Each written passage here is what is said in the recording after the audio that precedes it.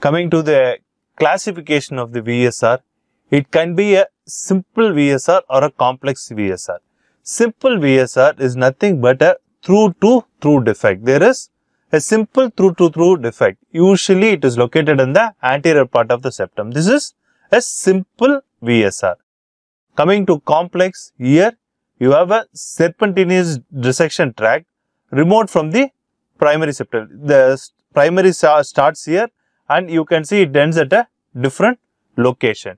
It usually happens in a inferior part of the septum. It is inferior VSR. Another classification is Becker and Mantgem classification which is used for free wall rupture.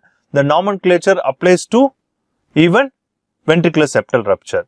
In type 1, there is an abrupt tear without thinning and what is very important is it occurs within the